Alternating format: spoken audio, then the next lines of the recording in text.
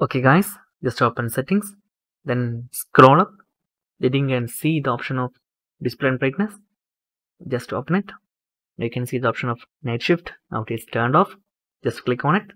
You can tap on manually enable until tomorrow. Okay? Just tap on it. Now it is turned on. Then you can adjust the warm light like this loss or mova.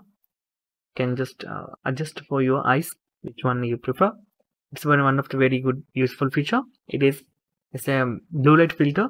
Also it's very good for uh, if you use your mobile phone reading white screens for a longer time. Okay guys if you need any kind of android iphone tutorial just comment below. I will post your replies as videos. Okay guys if you enjoyed this video please like comment share and subscribe our channel for getting more videos like this. Thank you so much for watching. Have a nice day. Bye bye